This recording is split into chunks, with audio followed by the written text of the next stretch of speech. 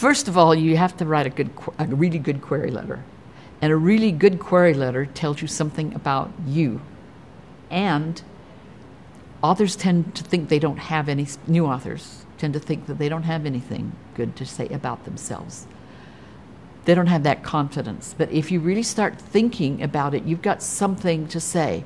If you've been to a conference a good conference you can mention that you've been to a good conference if you've taken classes at one of the universities in writer you can mention that in the letter anything that shows that you're a professional you don't have to have published per se to have a paragraph about you.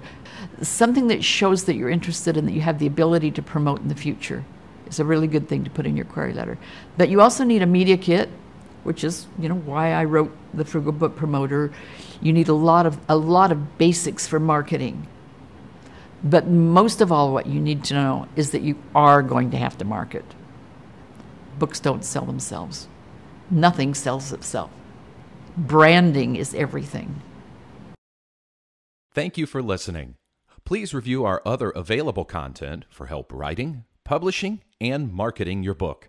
If you have any questions about the Author Learning Center, please contact us by email at authorsupport at authorlearningcenter.com.